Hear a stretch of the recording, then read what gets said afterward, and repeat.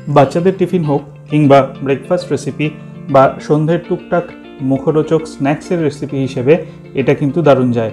নমস্কার, কুইজিনিয়া চ্যানেলের পক্ষ থেকে সকলকে জানাই সাদর আমন্ত্রণ। আমার চ্যানেল কুইজিনিয়াকে সাবস্ক্রাইব করে পাশে থাকা বেল বাটন আর অল আইকন প্রেস করে রাখলে সব নতুন ভিডিও নোটিফিকেশন আপলোড করা মাত্র আপনাদের কাছে পৌঁছে যাবে। আজকে আমি নিয়ে এসেছি আপনাদের কাছে একটা দুর্দান্ত স্বাদের স্ন্যাক্স বা ব্রেকফাস্টের রেসিপি যেটা একটা খেলে কিন্তু মন ভরবে না। পুরো রেসিপিটা দেখার অনুরোধ রইল। তাহলে আপনারাও ঠিক এরকম পারফেক্ট শেপের এই স্ন্যাক্স আইটেম বাড়িতে বানিয়ে সবাইকে খাওয়াতে পারেন। ভালো লেগে থাকলে একটা লাইক কমেন্ট প্রচুর শেয়ার করতে কিন্তু ভুলবেন না। নতুন বন্ধুদেরকে চ্যানেলে স্বাগত জানিয়ে, আর পুরনো বন্ধুদেরকে পাশে থাকার জন্য অসংখ্য ধন্যবাদ জানিয়ে শুরু করছি আজকের এই স্ন্যাক্সের রেসিপি একটা বাটির মধ্যে আমি প্রথমে নিয়ে নিলাম ময়দা। মোট দেড় কাপ পরিমাণ ময়দা আমি এখানে নিচ্ছি। তাতে দিচ্ছি দুই টেবিল চামচ পরিমাণ সাদা তেল। সাদা তেলটা একটু বেশি পরিমাণেই এটাতে লাগবে। ওয়ান ফোর টিস্পুন পরিমাণ কালো জিরে আর স্বাদ মতো এখানে দিয়ে দিলাম নুন। এবার এই সমস্ত জিনিসগুলোকে প্রথমে আমি এমনিতে মিক্স করে নেব যাতে ময়ানটা খুব ভালো করে হয়। একদম হাত দিয়ে ঘষে ঘষে এই জিনিসগুলোকে কিন্তু ভালো করে মিশিয়ে নিতে হবে, যেরকম আমি ভিডিওতে দেখাচ্ছি। মাখা ভালো করে মাখা হয়ে যাওয়ার পরে এবার এতে আমি একটু একটু করে জল দেব আর একটা সেমি সফট ডো বানাবো। জলটা অতি অবশ্যই একবারে দেবেন না। আর আমি কিন্তু এখানে রুম টেম্পারেচারে জলই ব্যবহার করছি, কোনো গরম জল কিন্তু নিইনি। একটু একটু করে জল দেবেন, আর যেরকম আমরা লুচি পরোটার জন্য মাখি, ঠিক সেরকমভাবে এটাকে আমি বানিয়ে নিলাম। ডোটা আমার এখানে মাখা কমপ্লিট হয়ে গেছে। এবার এটাকে আমি প্রায় কুড়ি মিনিটের জন্য একটা ঢাকনা চাপা দিয়ে এরকমভাবে রেস্ট করতে দেবো। আর বানিয়ে নিই এবার পুরটা। পুরের জন্য দুটো বড় সাইজের আলু আমি এখানে সেদ্ধ করে সেটাকে ভালো করে ম্যাশ করে নিয়ে নিয়েছি একটা থালার মধ্যে। তাতে দিচ্ছি প্রথমে স্বাদ মতো নুন। তার সাথে দিচ্ছি ওয়ান ফোর টিস্পুন পরিমাণ লাল লঙ্কার গুঁড়ো। এক স্পুন দিচ্ছি আমি এখানে আমচুর পাউডার দুটো কাঁচা লঙ্কা, যেটাকে আমি কুচি করে নিয়েছি, সেটা অ্যাড করে দিলাম। এক ইঞ্চি পরিমাণ আদা, সেটাকেও আমি এরকম চপ করে নিয়েছি, ছোট ছোট করে, সেটা দিলাম। ওয়ান ফোর টিস্পুন পরিমাণ গরম মশলার পাউডার এটা হোমমেড আমি রেসিপি লিঙ্কটা ডিসক্রিপশন বক্সে দিয়ে দেবো, আপনারা চাইলে চেক করতে পারেন। আর দু টেবিল চামচ পরিমাণ ধনেপাতা কুচি। এই সমস্ত কিছু দিয়ে এবার এটাকে আমি খুব ভালো করে মিশিয়ে নিচ্ছি।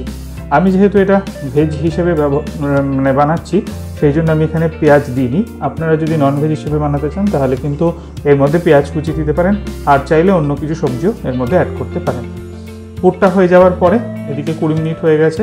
ময়দার তালটাকে আমি আরেকটু এক মিনিটের জন্য মেখে নিলাম, আর এখান থেকে এখন আমি ছোট ছোট গোল্লা বার করে নেব। মোট আমি এখানে দশটা পরিমাণ গোল্লা বার করে নিচ্ছি। মানে দশটা লেচি আমি এখান থেকে কেটে নিয়েছি। এবার একটা লেচিকে নিয়ে হাতের মধ্যে রেখে ভালো করে আমি এরকমভাবে গোল করে নিলাম। এবার এটাকে আমি পাতলা করে বেলে নিচ্ছি। আমি কিন্তু এখানে কোনো রকমের বেলার সময় তেল বা ময়দা, আটা কিছুই ব্যবহার করিনি। জাস্ট নর্মালি আমি এটাকে বেলে নিচ্ছি।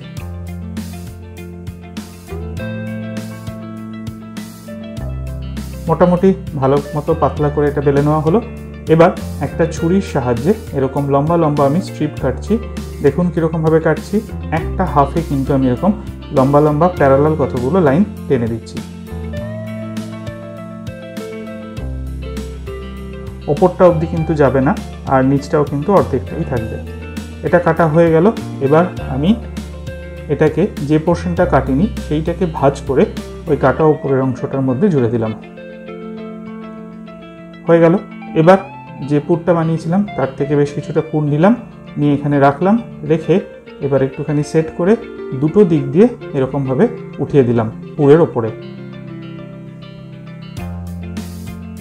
পুরের ওপরে এটা ওঠানো হয়ে গেলে এবার নিচটা ভালো করে চেপে দিয়ে হাতে তুলে এবার ওপরটাকে আমি আটকে দিচ্ছি। ভালো করে এটা সিল করবেন যাতে ঠিকমতো আটকে যায়, ভাজার সময় যেন খুলে না যায়। তাহলে দেখুন, এখানে নিচটা কিন্তু একটু খোলা আছে, ওই জন্য আমি আরও একবার ভালো করে আটকে দিচ্ছি। আর ওপরের সামনে দেখবেন যে বেশ একটা এরকম লম্বা লম্বা স্ট্রিপের মতো কিন্তু দেখা যাচ্ছে। একটা দিকে একটু কম আটকে আছে, তো ওই জন্য আমি ছুরি দিয়ে ওটা আর একটু খুলে দিলাম। হয়ে গেল আমার এই শেপটা দেওয়া। এরকমভাবে আমি প্রত্যেকটা একইভাবে শেপ দিয়ে নিচ্ছি। এবার এটাকে ভেজে নেওয়ার পালা। কড়াইতে পরিমাণ মতো সাদা তেল আমি এখানে গরম করতে বসিয়েছি, আর তারপর এই যে সিঙ্গারার মতো শেপের জিনিসগুলো বানিয়েছি সেগুলো এর মধ্যে দিয়ে দিলাম। মোটামুটি এক একটা সেট আমি এখানে তিনটে ভাজছি একবারে। এই, আর ফ্লেমটা কিন্তু অতি অবশ্যই মিডিয়ামে রাখবেন হাইতে একদমই রাখবেন না। লো টু মিডিয়ামে রেখেই ভাজবেন।